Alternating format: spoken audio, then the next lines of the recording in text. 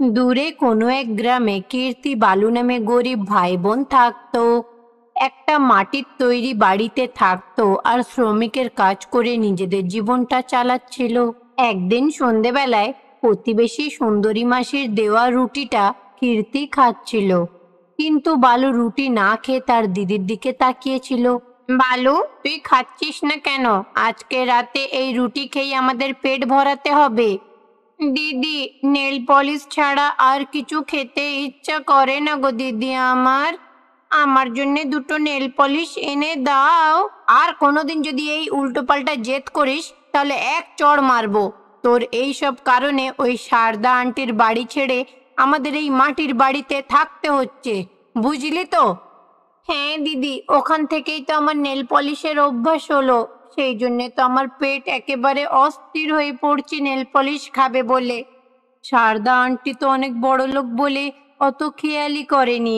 আর তুই সেখান থেকে নেল পলিশ চুরি করে খেয়েই চলেছিলিস। এখন সেটা না পেলে তোর খিদে মিটবে না আর তুই আমাকে ঘুমাতেও দিবি না। সারা রাত আমার কানের সামনে, দিদি, নেল পলিশ খাব, নেল পলিশ চাই এইটা বলে বলে আমাকে বিরক্ত করে মারবি। আমি তোমার কাছে হাত জোড় করছি, দিদি। ওই সামনে সুলেখা আন্টির বাড়ি থেকে দুটো নেল পলিশের বোতল এনে দাও। হে ভগবানে কি জ্বালা বলো তো? হতাশ হয়ে কীর্তি রুটিটা রেখে তার প্রতিবেশী সুলেখা আন্টির বাড়িতে গিয়ে দুটো নেল পলিশের বোতল চেয়ে আনলো।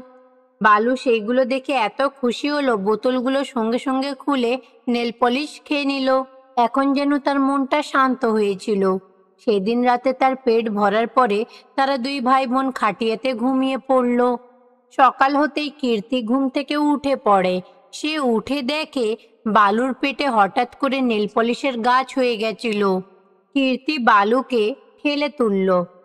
বালু যেই নিজের পেটে নেল পলিশের গাছ দেখল, প্রথমে ভয় পেয়ে যায়, কিন্তু তারপরে অনেক খুশি হলো। দিদি, মনে হচ্ছে শারদা আন্টি যেটা বলেছিল ঠিকই বলেছে বলেছিল না, নেল পলিশ খেলে নাকি মরে যায়। তার মানে আমার কিছু হয়নি। এর মানে হলো আমার পেটে নেল পলিশের গাছ হয়েছে। আরে বাবা, সে তো তোকে ভয় দেখানোর জন্য বলতো। কিন্তু কোনোদিন কি কোনো মানুষের পেট থেকে গাছ বের হয়? এটা তো একেবারে অসম্ভব ব্যাপার। হ্যাঁ দিদি, কিন্তু আমার পেটে গাছ হয়েছে। এবার আর তোমার কাছে কোনোদিন জেদ করব না নেল পলিশের জন্যে। যাই হোক না কেন, আমি কিন্তু অনেক খুশি। এবার যখন আমার খিদে পাবে, আমি এই গাছ থেকে নেল পলিশ পেড়ে নিয়ে খাব কি মজা। আরে বোকা ছেলে এইভাবে পেটে গাছ হওয়া ভালো নাকি হ্যাঁ? না চেয়েও বালু যাতে তার দিদির কষ্ট না হয়, তাই নিজের মনকে মেরে তার দিদির সঙ্গে হাসপাতালে যাবে বলে রাজি হলো। হাসপাতালে যাওয়ার পরে ডাক্তার তাকে বেডে শুইয়ে তার পেটে হওয়া গাছটাকে চেক আপ করতে লাগল। এক ঘণ্টা কেটে দেড় ঘণ্টা হয়ে যায়, কিন্তু ডাক্তার কিছুই বুঝতে পারছিল না। সেই গাছটার দিকে তাকিয়েই ছিল। ডাক্তার বাবু আপনার কি মনে হয় আমার ভাইয়ের কি হয়েছে? দেখো কীর্তিমা, আমি যতটা বুঝতে পারছি এটা কিন্তু পৃথিবীর অষ্টমতম আশ্চর্য জিনিস। যদি তোমার ভাইয়ের পেট থেকে গাছটাকে আলাদা করা যায় তাতে কিন্তু ওর প্রাণ যাবে। তাই বলি তোমার ভাইয়ের সাথে সাথে এই গাছটারও দেখাশোনা করো তুমি। ডাক্তারের এমন বলাতে কীর্তি কিছুই বলল না। চুপচাপ সেখান থেকে নিয়ে তার ভাইকে বাড়িতে চলে যায়। ডাক্তারের কথা শুনে বালু কিছুই বলছিল না, কিন্তু মনে মনে অনেক খুশি হচ্ছিল। এবার তো দিদি এই গাছটাকে আমার থেকে আলাদা করতে পারবে না, কিন্তু হতে পারে যেমন যেমন পেট বাড়বে, আমার পরে গিয়ে অসুবিধা হতে পারে। চলো দেখাই যাক। এইভাবে মনে মনে ভেবে সে খুশি হলো। এইভাবে তাদের দিন কেটে যাচ্ছিল। একদিন বালু কীর্তিকে বলে, দিদি, তুমি প্রত্যেক দিন শ্রমিকের কাজে কেন যাও? শ্রমিকের কাজ করব না তো কি, লোকেদের বাড়িতে গিয়ে থালা মাজবো? আরে আমার মিষ্টি দিদি, আমি ওইটা বলতে চাইনি। আরে এখন তো আমাদের কাছে নেল পলিশের গাছ রয়েছে। আমাদের কাছে নেই, বালু। শুধু তোর কাছে আছে, ওই নেল পলিশের গাছ। কি বলতে চাস, বল। আমি বলছি, এই গাছ থেকে নেল পলিশগুলো পেড়ে নিয়ে বাজারে গিয়ে বিক্রি করো, টাকা পাবে। বালুর কথাটা কীর্তিরও ঠিক মনে হলো। পরের দিন সকালে তাকে একটা ঠেলা গাড়িতে শুইয়ে দিল। বালুর পেটের ওই গাছে অনেক নেল পলিশ হয়েছিল। কীর্তি ওই ঠেলা গাড়িকে গ্রামের একটা মাঝখানে রাস্তার ধারে রাখল। আসুন বোনেরা আসুন, কেমিক্যাল ছাড়া প্রাকৃতিক পদ্ধতিতে তৈরি আমাদের এই নেল পলিশ নিয়ে যান। এইটা একেবারে ক্ষতিকারক না, গাছে হওয়া নেল পলিশ। এইভাবে পেটে হওয়া গাছে নেল পলিশ ঝুলছে, এইটা দেখে সবাই অবাক হয়ে যায়। সবাই খুব আকর্ষিত হয়ে তাদের কাছ থেকে নেল পলিশ কিনে নিয়ে যেত। এইভাবে ভাই বোনের অনেক টাকা উপার্জন হতে লাগল। এখন তাদের পরিস্থিতি আগের থেকে অনেক ভালো হয়ে গেছিল। ঢোলপুর নামক গ্রামে মাধব নামে এক গ্রাম প্রধান থাকত। সে যা বলতো, যা করত, অনেক ভেবে চিন্তে করত, বড়দের সম্মান করত। সেই জন্যে গ্রামের লোকেরা তার উপরে বিশ্বাস করত। মাধব কিন্তু গ্রামের লোকেদের এই বিশ্বাসটাকে ভাঙত না। একদিন মাধব গাছের সামনে দাঁড়িয়ে সুদর্শনের অপেক্ষা করছিল। সে নাকি তাকে ভূতের ব্যাপারে কিছু জানাবে। তারই খানিকটা দূরে কীর্তি আর ভালু নামে অনাথ বাচ্চারা খিদের জন্য ছটফট করছিল। দিদি, আমি আর সহ্য করতে পারছি না। এই রাক্ষসের মতো খিদেটাকে আমি সহ্য করতে পারছি না। আমি এত জল খেয়েছি, তবুও এই রাক্ষসের মতো খিদে আমার মিটছে না গো। তাকে দেখে কীর্তিরও কান্না এলো। আমি কি করব ভাই বল? কারোর কাছে সাহায্য চাইলে বলে হাত পা তো ভালো আছে। কোনো কাজ কেন করো না? কারোর কাছে যখন কাজ চাইতে যাই, বলে, তোমরা অনাথ, তোমাদের উপরে কি করে বিশ্বাস করে কাজ দিই বলো? তারপরে সেখান থেকে যেতে বলে। ওইসব কষ্ট আমরা তো বুঝে যাই, দিদি, কিন্তু এই পাপি পেটটা তো বোঝে না। আমি খানিকক্ষণ আগে ওই নোংরা আবর্জনার কাছে গেছিলাম, তখন একটা কুকুর আমাকে দয়ার চোখে দেখছিল।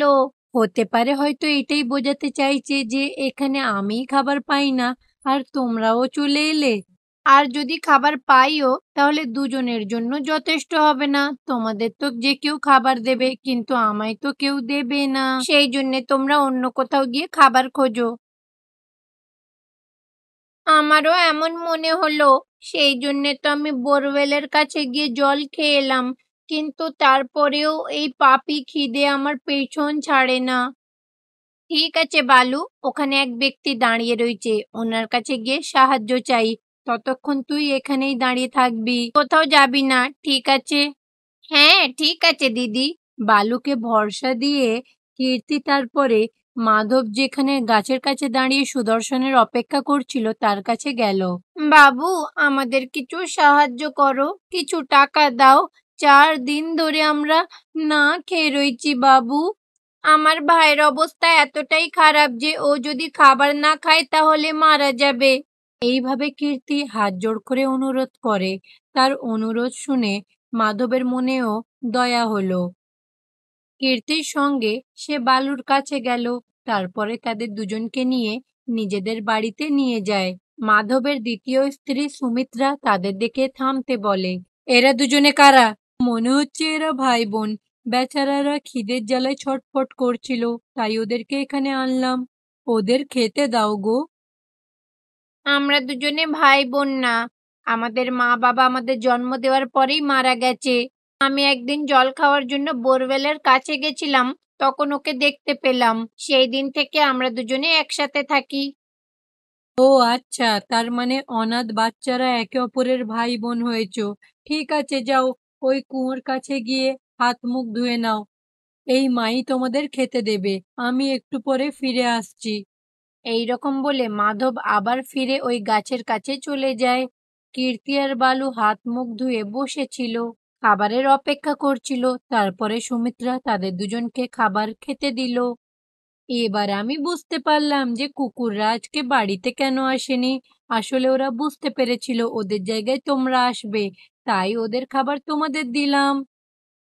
কীর্তি বালু তাদের কথা তো শুনলো, কিন্তু কিছু না বলে চুপচাপ পেট ভরে খেতে লাগল। ওই কুয়োর কাছে গিয়ে হাত পা ধুয়ে ওখানকার জলটাই খেয়ে নিও। এইভাবে যখন সুমিত্রা বলছিল, তখনই মাধব বাড়িতে ফেরে।